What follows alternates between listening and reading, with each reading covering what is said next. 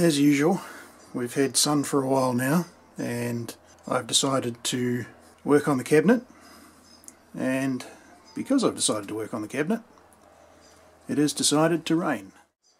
Okay, so we're going to get into the chassis and we're going to get all this dust off it. I would love to blow it off with a compressor, but my compressor is a petrol one and it lives over in the barn and it's currently buried under some stuff. So until I get a decent air compressor, I'm really stuck with just wiping this down manually. We'll um, get this dust off, which should just come off. You'll see it just roll off there. And there's some light surface rust underneath that I'll have to try and get rid of as well. Now you may hear a helicopter in the background. That's one of our neighbours who has a deer farm of sorts. I think what he's actually got is just a place to breed deer and then let them out around the neighbourhood because there are deer everywhere. He's done a great job of repopulating the wilderness and I think his helicopter is how he tries to get them back. I think it's just an excuse to fly in his helicopter.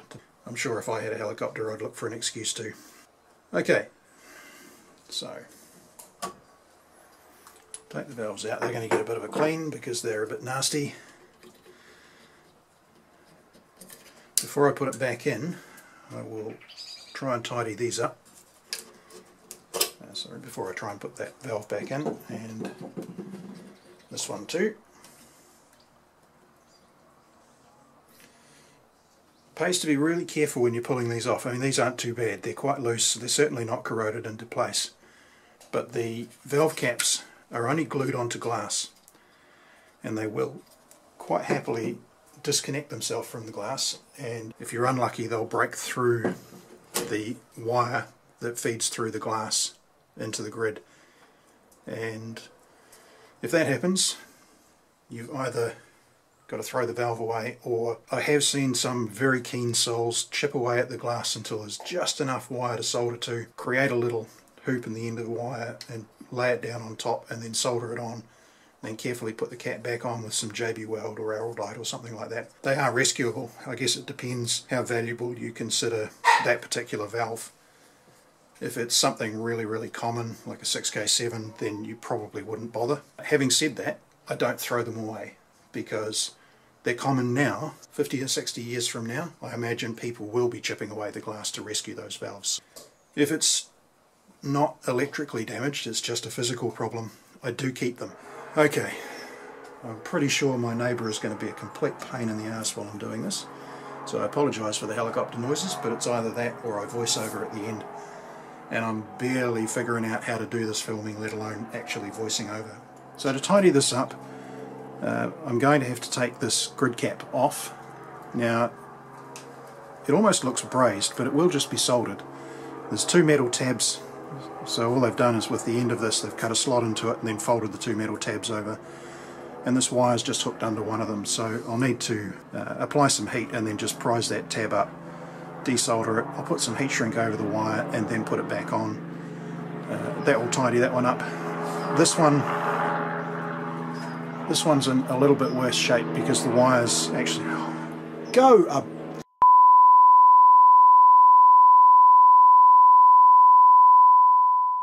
He's gone now, so we'll get back to it. This one's going to be a little bit more difficult. This is the one for the 6A8, and we're not easily going to be able to heat shrink that really. Well, we could, but it's the, the wire's broken in a couple of, well, the insulation's broken in a couple of spots. Uh, but the grid cap's the same, so it should be easy enough to get off. So we'll take that off. I'll replace the wire and then put it back on a new piece of wire or new old piece of wire, I'll find something appropriate. In terms of the aerial and earth wires, same story. I do have some reproduction wire and I'll probably just put a length of aerial wire on it because these sets really need aerial wire. What they really need is probably a good 30 meters or 100 feet of wire. Uh, just having a meter or so on these sets makes a huge difference to their capability. So the aerial and earth wires are just tied to the chassis with this old piece of string and given the rest of the construction of the set I wouldn't be surprised if that's factory Although, having said that, there's a knot up here where the earth wire is soldered to a fairly hefty lug on the top. So it's also possible that actually the aerial and earth wires were just connected by that solder tag and someone's added that string at a later date to give it a wee bit more strength. It's hard to say. Um, I'm not going to change much about that other than just to replace the aerial wire. Alright, so I've got a bit of a stiff bristle brush here. I'm just going to try and take this dust off. Yeah, it's coming off quite nicely.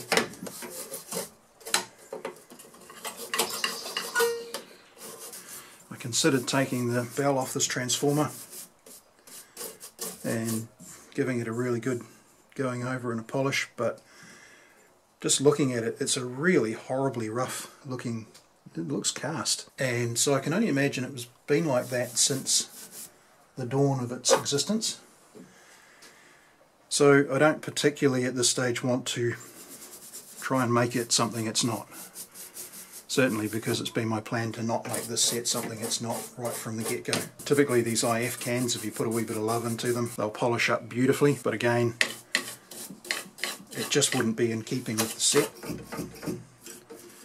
I might just check and see if I've got any compressed air in it tin left. I can't find the can of compressed air. I think I used it all. I've, it's such a ridiculous product. Air in a can. But right now it would actually be quite handy so I guess it's not as ridiculous as I considered it. I can't call it a ridiculous product when I actually paid money for it, but I was it was on special and I was curious as to just how good it would be. Uh, and it, it would be really good if it actually lasted more than a few seconds. It's just, I don't know what they charge for compressed air in a can where you come from, but over here it's something ridiculous, like when it's not on special, around $12 a can, and it just doesn't last that long at all. This dial will need to come off as well. I'm not sure if you remember back to part one. I barely remember back to part one when I thought I'd have this whole set done in one short video. The knob that's on here is just a knob and there's a dial pointer which is actually pressed onto the shaft. Now to get that glass off I'm going to have to get that off the shaft without damaging it in such a way that I can't put it back on again. So I need to be a wee bit careful about that. The chassis is looking clean now. It's really rough though. You can see there's quite a bit of rust and pitting in there. I'm not going to repaint this chassis. I'm going to have a, a bit of a scrub with some very fine sandpaper and just see if I can knock the top of the surface rust off and then we'll give it a bit of a clean and then I might put some silicone on a rag and just give the give the chassis a bit of a rub to hopefully stop that from happening in the future or getting any worse in the future. Okay, so I've got some 800 grit wet and dry. Interesting watching David Tipton's latest video and he's talking about the stuff is wet and dry, wondering if it was actually known as wet and dry or if that was a, a trade name. I must admit I've wondered the same thing since he mentioned that because I've always called it wet and dry as well. Mainly because um, when I was first introduced to this stuff I was told that you can use it wet or dry. I'm going to use it dry here and just see how that goes. I said I'm not trying to sand the paint off or take any layers of material off. I'm just trying to knock down that surface rust. Okay, so it's clogging the paper up. You can see there a bit of a bash on the edge of the bench. I'm going to try with a little bit of isopropyl alcohol and see if that makes a difference. So we're using it wet, but we're using an alcohol rather than water. So again, just being really, really light in my action. I'm not trying to take anything off here.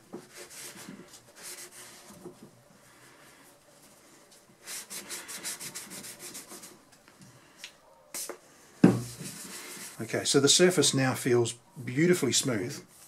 There's still a bit of surface rust on there. If this was America, I'd use some naval jelly on it. This is not America, we can't get naval jelly here. I have had some success in the past using some rice paper soaked in uh, vinegar and then just laying the rice paper on it. Now I, I, used the rice paper basically to stop it from evaporating so fast but the downside was that the pattern in the rice paper ended up etching itself into the chassis which wouldn't have been so bad but it was a chrome chassis. And so it kind of left weird marks. At least they were kind of repetitive and almost looked like they they kind of belonged there. I think this is going to work fine in terms of tidying up. This particular part of the chassis won't be seen which is why I started here because if it all goes horribly pear-shaped at least it's an invisible part of the radio to all intents and purposes. It feels much better. I'm just going to zoom you in on it. I'm just having the devil's own time trying to get this thing to focus down. it probably doesn't look hugely better, it feels immensely better, but there's still quite a bit of rust on that surface and that's simply because um, the rust creates some, some heaps and then it creates some pits as well. And what I've done is knocked the rust off the, the mounds and probably forced it into the pits whilst knocking everything smooth. So while it feels really nice, there's still quite a bit of rust visible. And the way that I think I'm going to have to deal with that is to put some kind of derusting agent on there. So I'm going to give that a bit of a go again in this area because if it screws up then at least it's not visible to the outside. So the stuff I'm going to use is this, it's just some whatever was cheapest at, at Bunnings or Mitre 10 when I got it. Kiwis and Aussies will know what those are. If you're from the States, probably Home Depot equivalent here. I found it works really really well. I've also tried some other stuff. Most of them seem to do the job. Um, they appear to just be a mild acid.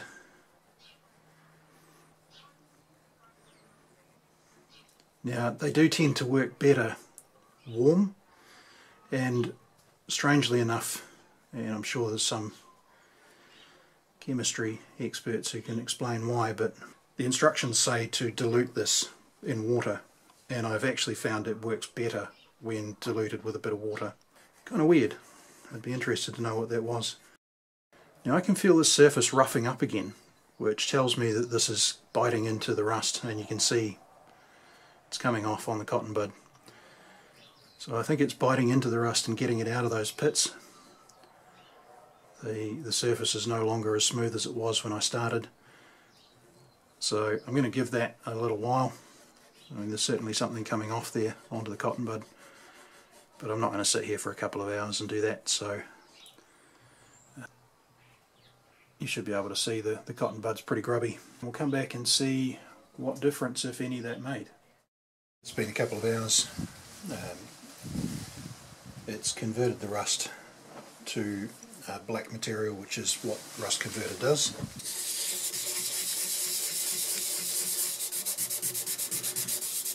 I don't know if the sand is going to be necessary, it may be better off to leave it.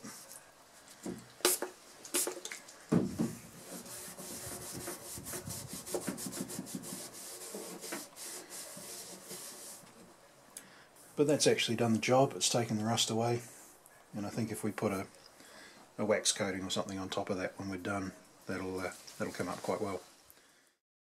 Alright, so while I'm waiting for that I'm just going to look into getting this dial glass off. I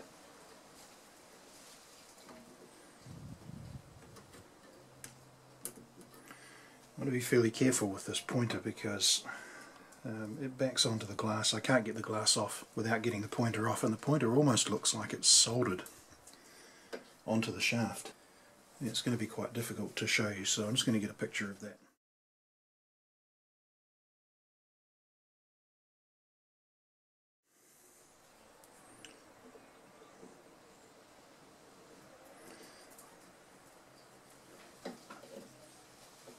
It's only on the one side.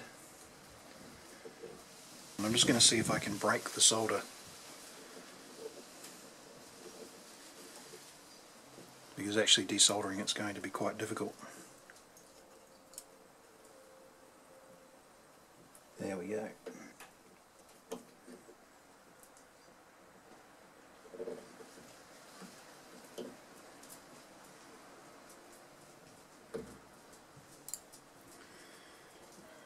An absolutely crazy cheap ass way to do a pointer. I'll probably use a spot of just some rubbery type glue to put that back on. I'm not going to put it back on with solder again.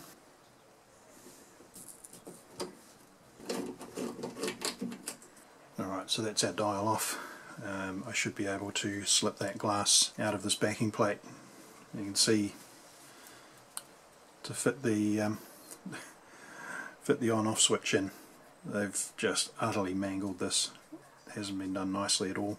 If I ran that there or there across my finger too hard it would cut. It's it's been done with some jagged tin snips by the feel of it and uh, that's not very nice at all so um, we'll give that a wee bit of a tidy up just for, for safety reasons. I'm going to get this glass out hopefully it will slip out. Yep, and I'll give that a clean.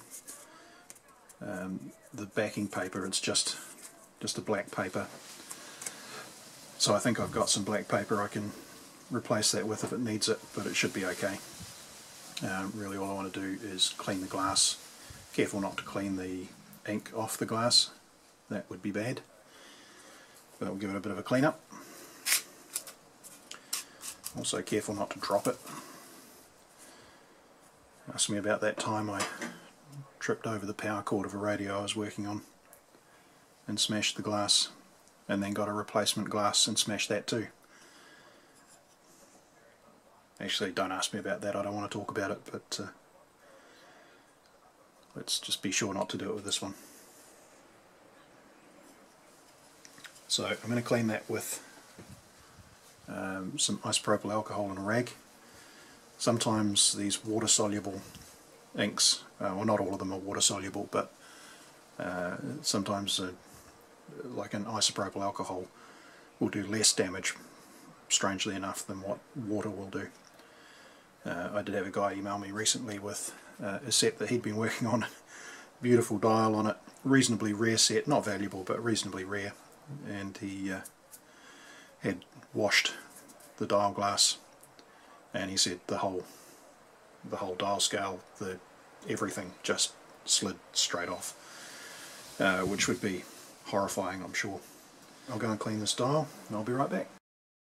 Um, I'm not sure if you're going to be able to see this easily but that's a million times better. Unfortunately you'll notice a little bit between 800 and 900 kilohertz where the gold just flaked off. It, it didn't wash off, it actually just flaked off. So I'm not quite sure if I've got a paint that colour that I can actually try and rebuild that with. But I'll have a crack with something and just see if I can fill that in, make it look less obvious. Uh, one of the things you may be able to see, and you can certainly feel it on the back, I don't know if it's going to focus or you'll be able to see it, but you can see lines either side of where that gold was. Now this is a um, an etched glass dial, which for edge-lit dials is is kind of an important feature. They they etch into the glass, and so that the ink actually sits inside the glass, if you like. It's it's in from the back. It's not just painted on the back of the glass. So uh, that'll give me some lines to work to to try and get it in there. And we'll just uh, we'll see how that comes out.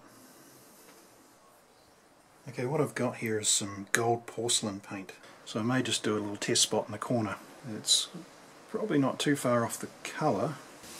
It's quite gludgy, so it looks like it will actually stick to it.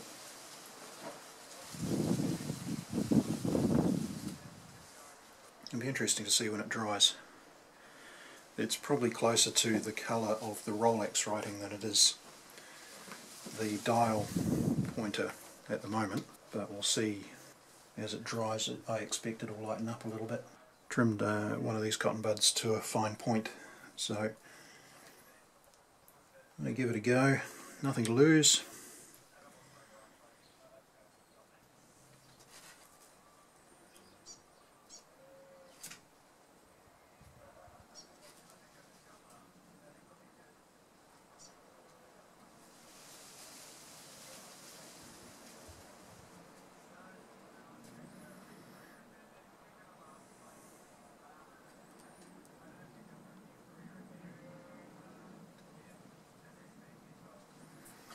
a situation where it was looking okay and you thought I'll just add a bit more and then wished you hadn't.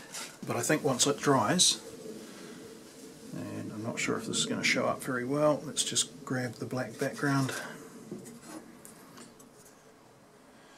and try not to get the reflections in it. So the colour match isn't perfect but it's not too bad. Uh, my attempt at sticking in the lines well that's just abysmal but uh, because it's etched I'm hoping I can just scrape that off once it dries a little bit and just tidy that up. I'll give this backing a dust off, I don't think there's any particular reason to replace it. Tidy that up, no more sharp edges. Uh, is it pretty? No. Is anything on the set pretty? No. We're getting pretty used to that now. Let that paint dry for a while before we go putting everything back together. Sort of white crazing, I'm not sure if that's showing up on the camera, but when I'm cleaning the rust converter off, it's leaving a bit of a white crazing on the, the surface, which I'm not totally enamored with, but that may, if we put some wax or something on top of this when we're done, silicon or wax, that should actually blend that out. It'll be fine. So I'm going to carry on cleaning up around here, just get all this surface rust off, then we'll treat it, and then we'll coat it. I do need to remove this can to get that wire out and replace it, um, but I shouldn't have to bend these tabs up. I should be able to just undo the two nuts on the on the bottom side and this one on the top, and then lift it up once I've disconnected the um, the grid cap lead. Now, there's something worth mentioning while I'm cleaning in here. If you've got crackling while you're tuning, that can often be caused by dust or debris in between the plates of your tuning gang. Um, the rotor or the stator, they, they both get filled with dust over time. And so what you really want to do is get in there and get all the dust and crap out. Now sometimes that's easier said than done. This is nice and dry. Um, the little fur balls and, and, stuff that have been in here have been quite easy just to wipe out and they've uh, they've just gone away. If uh, if that's not the case, if you've got uh, sometimes you get corrosion on the plates and you actually have to get in there with something much more substantial than a brush uh, between each plate and either knock those down. One thing people do like to do is actually take these off and put them in a dishwasher and I believe something about the alkalinity or acidity, I'm not quite sure which of the of dishwashing liquid will actually clean these plates up really really well but not necessary at this particular point. That noise indicates something's rubbing. So you also want to stop that because rubbing is bad right? These plates need to be close to each other but not touching and so what's actually the case here is I've bent this wire while I've been cleaning and it was just rubbing. So that's just an earth wire that runs down under the chassis from this solder point here down through. Rubbing generally on a tuning gang means that the plates are shorting. If the plates are shorting then your tank circuit formed by the tuning gang and the aerial coil will do nothing. Uh, it means you just won't be tuning anything. So really really important to make sure there's no rubbing in there. You'll find dead spots in your tuning band if you do have rubbing like that uh, which is generally a good indication but you stick your ear down behind it and just turn it full range. You'll hear if anything's rubbing. Be aware if you start bending these plates unless you're bending them back exactly where they were you're going to change the way the tuning gang reacts at certain points. Um, it can stretch or compact certain parts of your band and make the radio not quite tune the way maybe you'd expect it to. That was probably really, really important back in 1938 39 when this radio was built because people expected 3YA wherever you were in the country. 1YA was Auckland, 2YA Wellington, 3YA Christchurch, and 4YA was in Dunedin, which are the four main centres across New Zealand. Um, and the YA stations were the big ones. They were the government controlled stations that, that had big power output. You knew where they were on the dial. The dial indicated that. So you can see uh, there are some ZB stations, um, but the 1YA, 2YA over on the right hand side of the dial, 3YA just down from 1YA, and then 4YA is just past that. So they're all over on the right hand side of the dial there. They did move around a bit, stations moved, frequencies changed, and sometimes actually looking at where those main stations are or the stations on the dial are can give you an indication of the age of the set or at least an age range. People would quite often use the bottom half of the dial rather than the top half. They didn't care what the frequency was.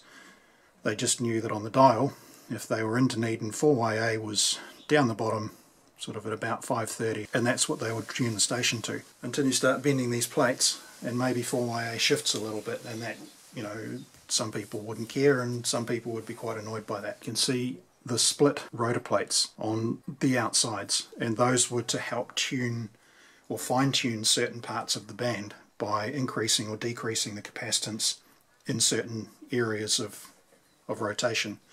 So you will see these tweaked. Do not try and think, oh, someone's bent that, I'll straighten it back up again. Because quite often they're bent for a reason. Right? None of them are bent on this, which tells me that they threw it in and went near enough's good enough. But certainly on sets from major manufacturers, the likes of uh, Radiocorp, NZ, Radio Limited, Akrad, Collier and Beale, those, those big manufacturers would have had rigorous testing procedures for their radios before they went out the door. Uh, they went on every radio went on a test bench and was run up and um, aligned and checked before it went out the door. And so, if there were any alignment issues, they you will find plates that are tweaked out slightly to to fix those issues. Now, that's my understanding of these plates. Please correct me if I'm wrong.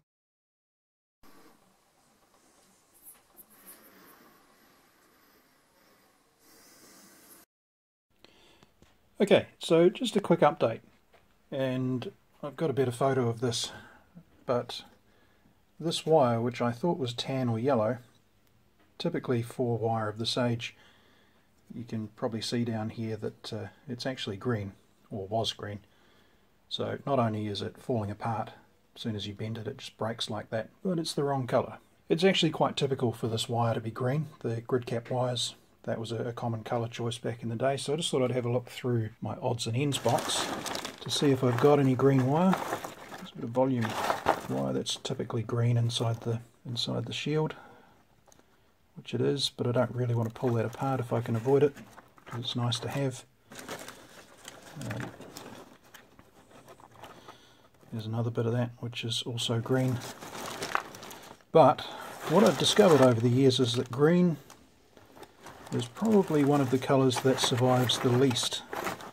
So it's going to be unlikely that I'll have old green. Got this new green, but that's solid core, so I don't particularly want to use that. So, based on that,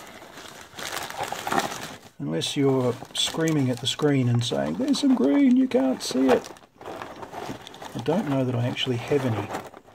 Now, does it really matter? Could I get away with some other colour?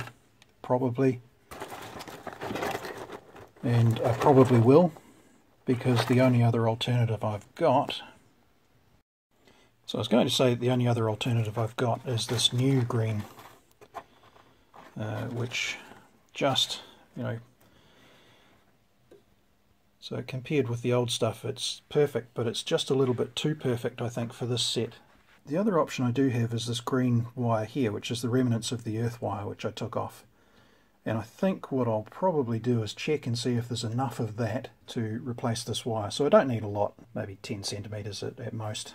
And if all else fails, in my new wire box, I did find this, which is looks like Philco speaker wire, but it's hard to actually say where it came from. I don't recall but uh, that would probably do the job as well. It's not solid green, obviously, it's got a white trace through it, but it would look fine in there, I think.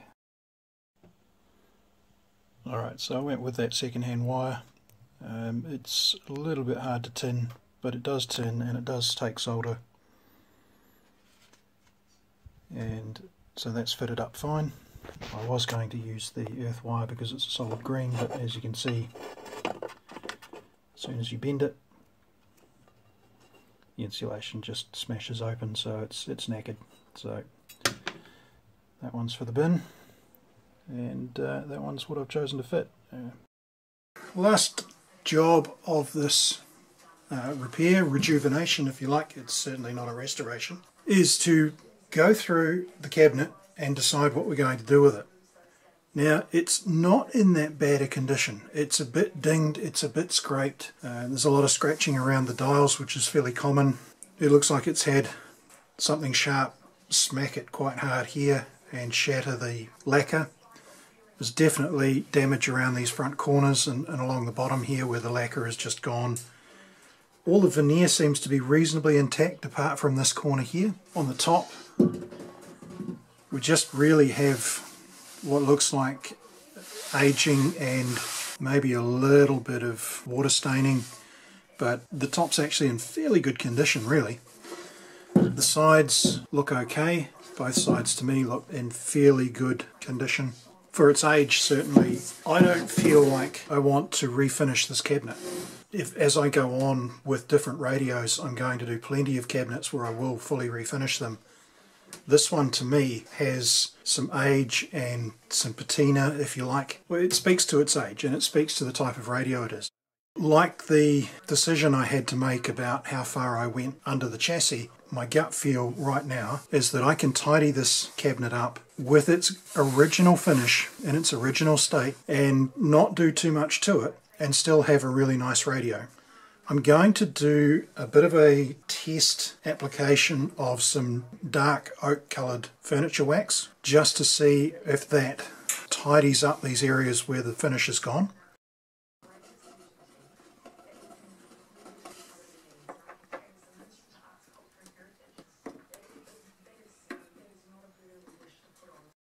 We're still sticking in this top corner, but there is no screw heads in there. It may be a brad nail or something that was put in to originally hold it while they were screwing it in place. I'll keep trying, that'll come out.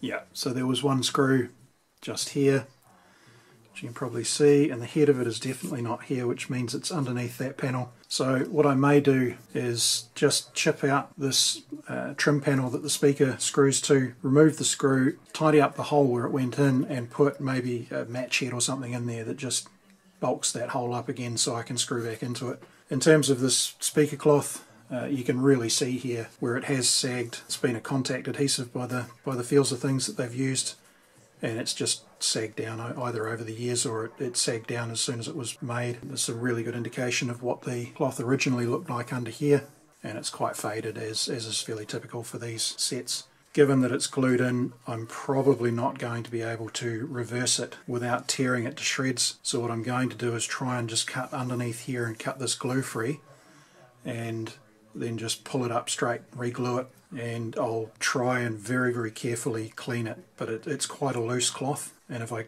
try with anything and anything aggressive in terms of brushing it I, I think I'm just going to end up pulling threads and, and wrecking it. So what I do here I'll do very carefully. And if it works it works. And if it doesn't work well then it stays dirty.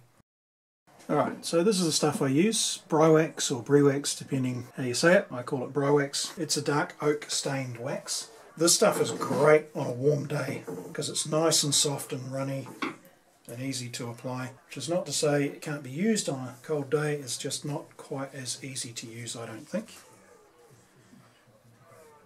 So let's just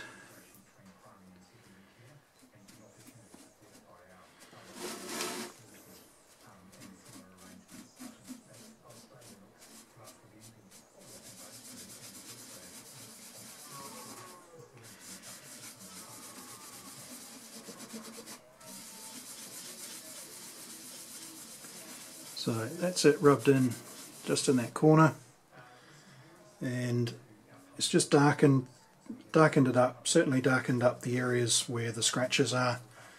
So I think that's going to work nicely. So we'll just keep working along the bottom here.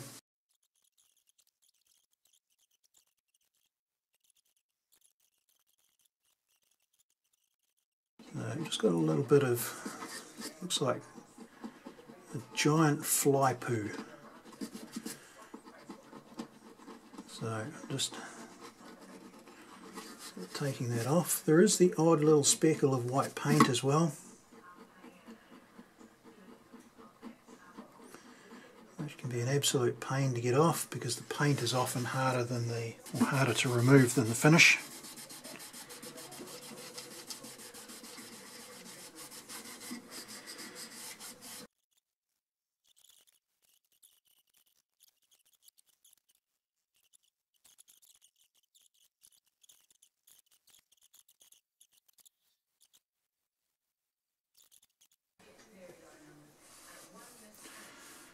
and it's quite possible that this will darken up a little bit as the stain seeps in.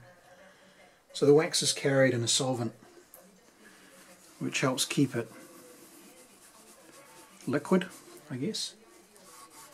It's not quite liquid, but it's carried in a solvent and that solvent flashes off.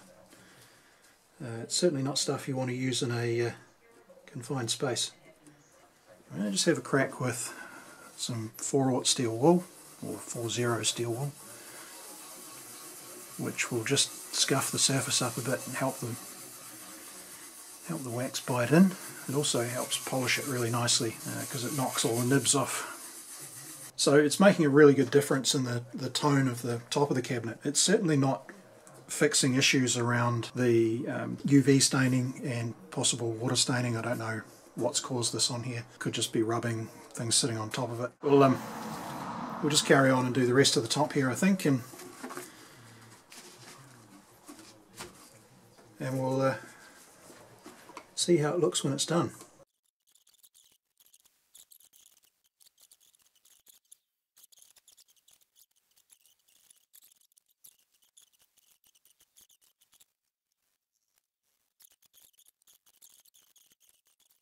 I think that's pretty much going to do us for the cabinet. I don't think it's going to need a whole lot more. I'm quite pleased that this is probably going to retain a lot of the originality of the radio whilst cleaning it up, making it look really nice. So that's what we're going to go with. I'll just keep chugging away here and um, come back when it's time to give it a bit of a polish.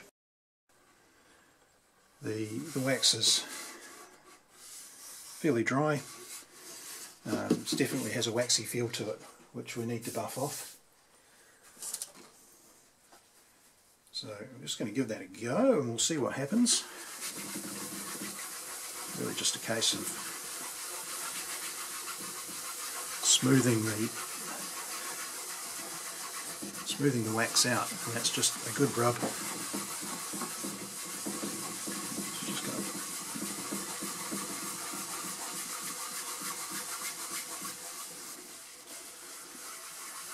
Now I'm not sure if it's showing up on camera just what a difference that's made to the finish.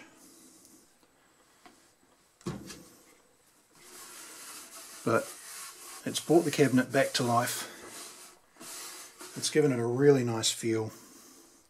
There's a little bit of dirt and wax coming off on the, the rag. And I think that's brought the cabinet up beautifully. I'll, uh, I'll do some shots outside later that'll show off the finish a wee bit better, but uh, I'm really happy with that. Um, I love the fact that it's still got this kind of patinaed finish, which you may or may not be able to see. Uh, it still looks like an old radio, but it looks it looks loved now. So this has had more than five minutes to set up now. That's nice and firm, so we'll get on to the next strip.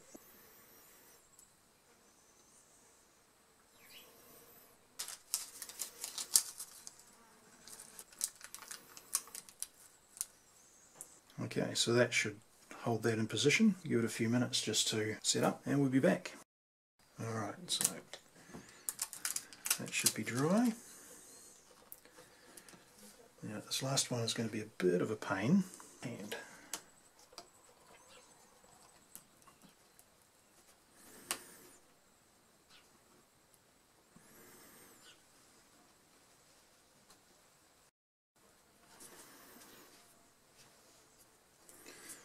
As good as it's going to get.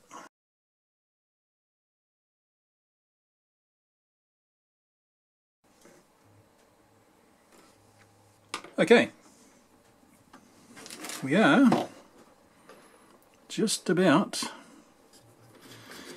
that around there out of the way, that's the earth wire and this is the aerial.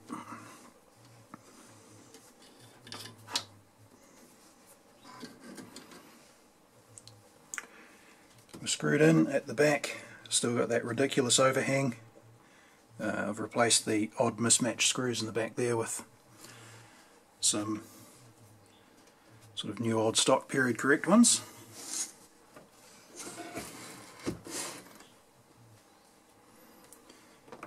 Got a couple of felts to go on here. Protect the beautiful woodwork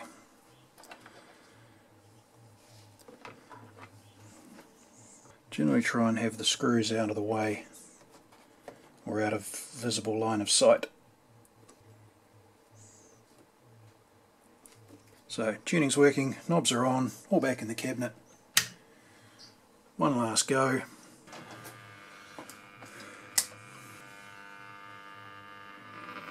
So I'll just use myself as an aerial, see if we can... Back to business as usual. So there's that electrical noise. Now one thing I've actually thought about is during the lockdown I've got my office set up at home on the same circuit as the plug that feeds my service bench. It's in the room next door to the garage so it's quite possible that all the computer gear, the monitors, everything I've got in there are actually causing some of this noise.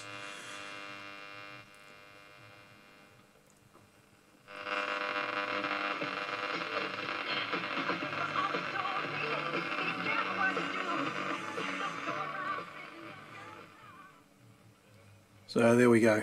The edgelit dial looks really good. I'll bring you down for a closer look at that since we're in here in the dark and then I'm going to take it outside and get a couple of photos.